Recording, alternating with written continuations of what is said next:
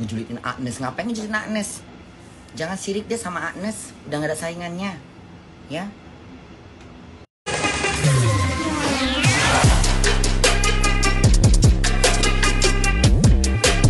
Pastinya sudah menanti-nantikan kabar terbaru dari karir Agnes Mo para fans dan masyarakat pastinya sangat menunggu-nunggu kabar baik yang datang dari artis internasional dari Indonesia ini dan pada hari ini tampak kabar menggembirakan datang dari Agnes Mo untuk karir internasionalnya. Bukan mengenai pemotretan ataupun karpet merah namun kali ini kabar gembira datang dari sisi permusikan Agnes Mo yang pastinya sudah ditunggu-tunggu oleh semua orang atas gebrakan Agnes Mo dengan musiknya di Amerika. Semuanya pasti menunggu atas musik terbaru Agnes Mo di 2023 ini.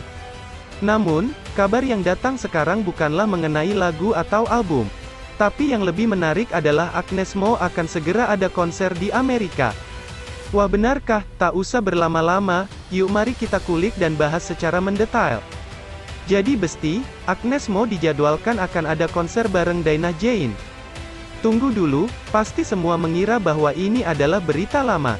Jawabannya adalah bukan, masih ingat pastinya dengan tur dunia yang sempat viral beberapa tahun lalu, di mana Agnes Mo dan Daina Jane akan melakukan tur dunia bareng. Namun, jadwal yang sudah ada, harus dibatalkan karena tiba-tiba muncul pandemi corona di seluruh dunia.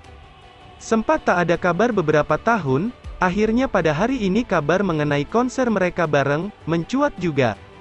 Tampak muncul jadwal resmi konser mereka dalam waktu dekat di beberapa situs resmi musik dan juga halaman resmi Daina Jain. Berikut adalah jadwal terbaru mereka,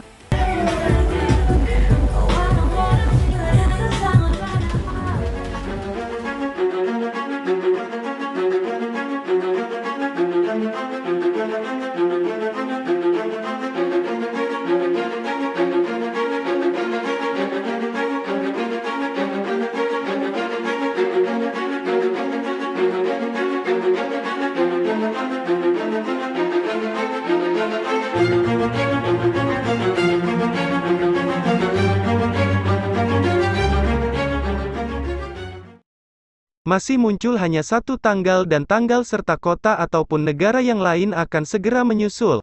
Wah semoga tidak ada halangan dan konser tersebut bisa segera terlaksana ya.